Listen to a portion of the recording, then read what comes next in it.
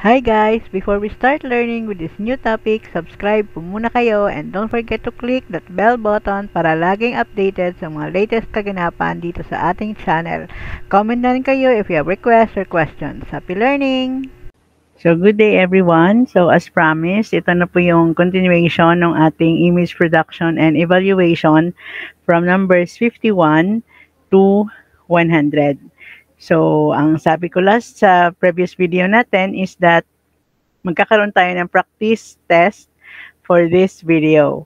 So, you will try to answer the questions on your own and then abang po tayo 2 or 3 days after, i-upload ko po yung rationalization ng mga correct answers So, if you were not able to watch the previous video, so nandun po sa link, ilalagay ko po yung link ng previous video sa baba. Okay, so let us start.